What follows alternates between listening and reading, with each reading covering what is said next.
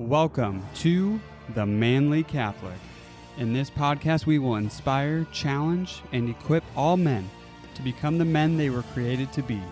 Join us as we journey together to become the best versions of ourselves and strive to change our communities one man at a time. In the name of the Father, and of the Son, and of the Holy Spirit. All of us, all human beings, are created in the image and likeness of God. What does that mean? I think our readings are on full display of exactly what that means love. There's a manifold explanation of what it means to be created in the image and likeness of God, deep theological exhortations or philosophical exhortations. We can dive deep into that from the writings of the saints to be sure, but we are created for love, to give love, to receive love. That's what it most definitively means to say that we are created in the image and likeness of God. And that's what our readings are pointing towards today. I counted the word love in our first reading, second reading, and in our gospel today. 20 times. Did you catch that? The word love was used 20 times just in our second reading and just in our gospel today. It's clear as day that Jesus is trying to get our attention. Love, love, love, love, love. How do we do that? Jesus asks us to love others the way that He loves us. We can't do that without Jesus.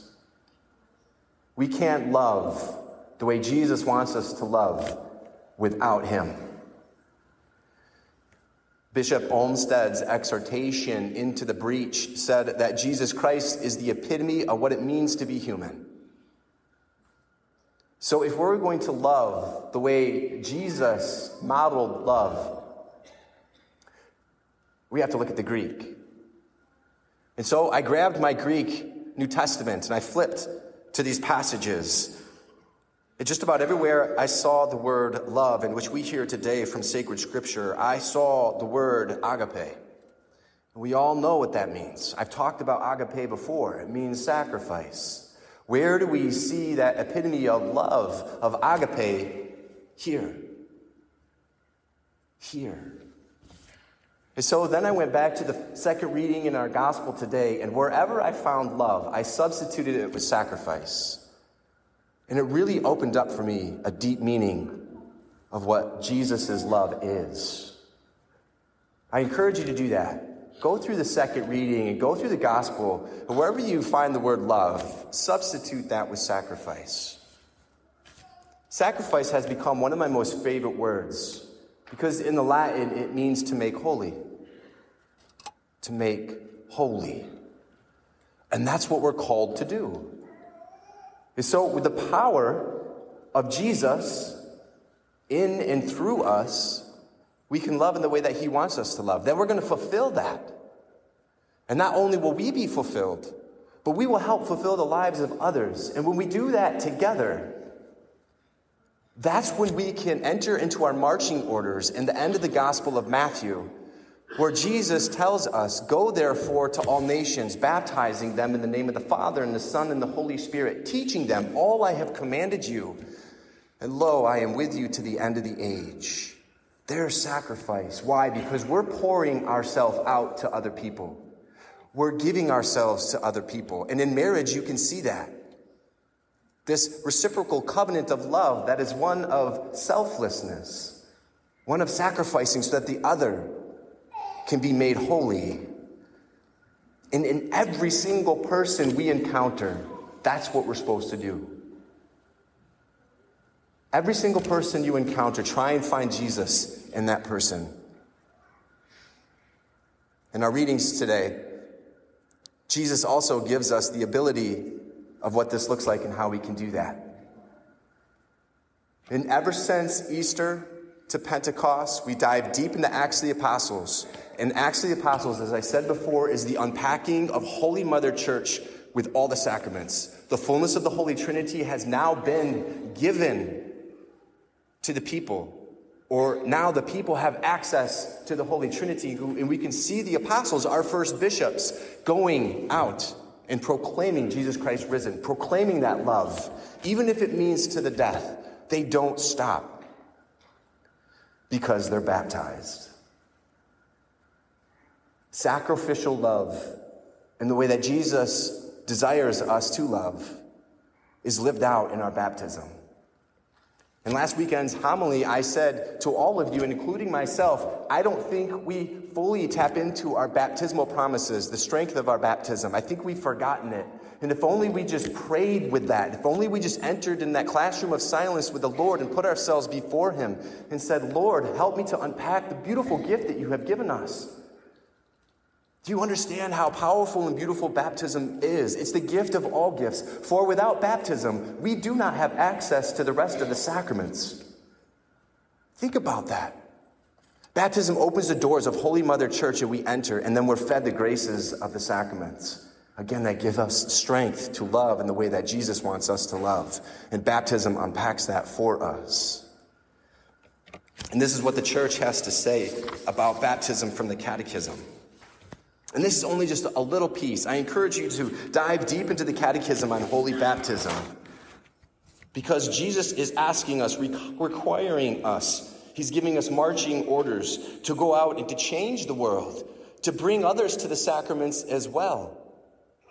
Holy baptism is the basis of the whole Christian life, the gateway to life in the Spirit and the door which gives access to the other sacraments. Through baptism, we are freed from sin and reborn as sons of God. We become members of Christ, are incorporated into the church, and made sharers in her mission. Baptism is the sacrament of regeneration through water and the word. Oh, what a gift!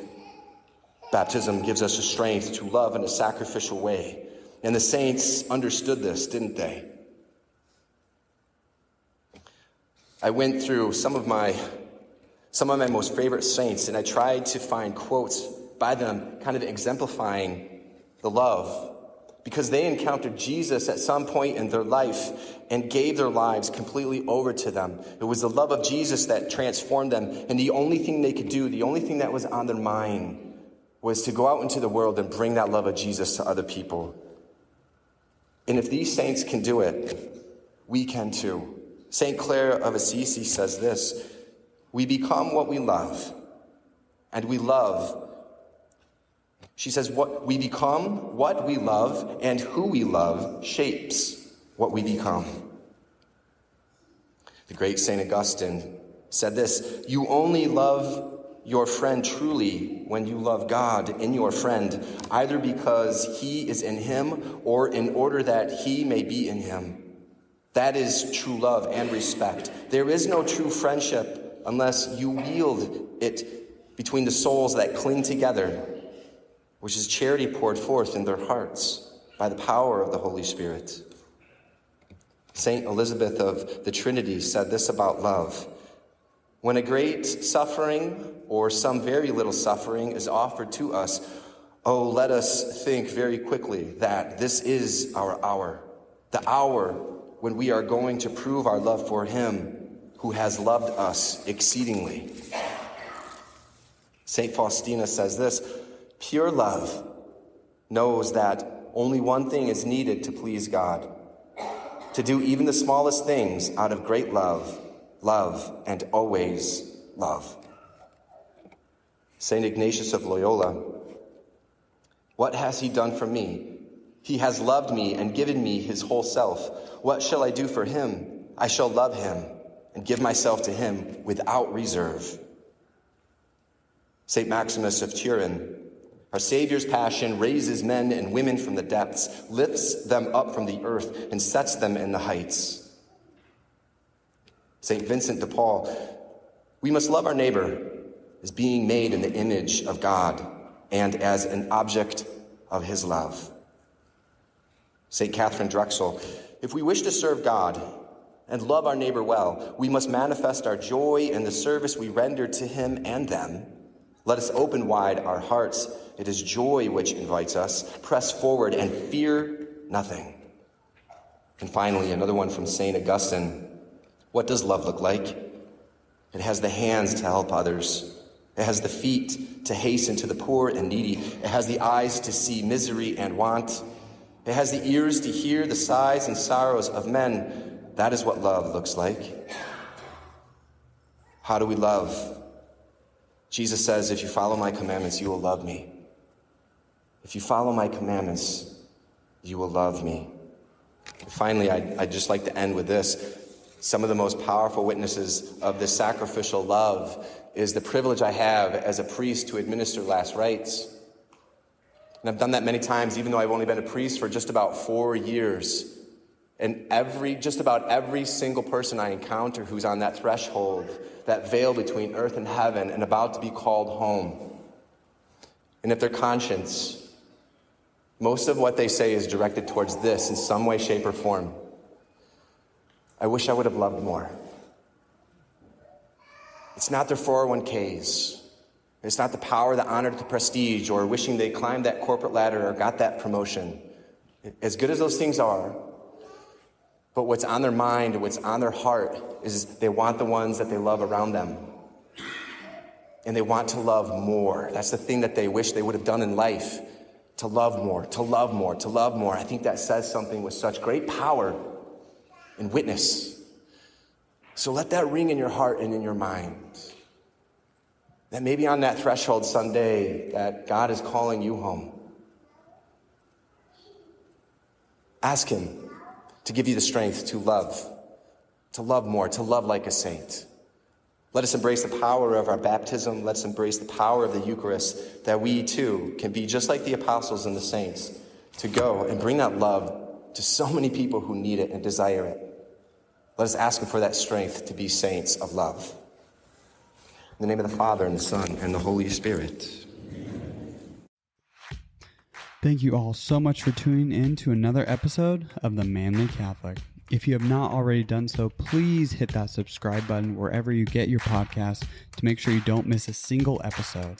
It will also help grow the show and reach as many men as possible. We truly think this podcast can change families and help men to change the world. Thank you again so much for tuning in, and God bless you.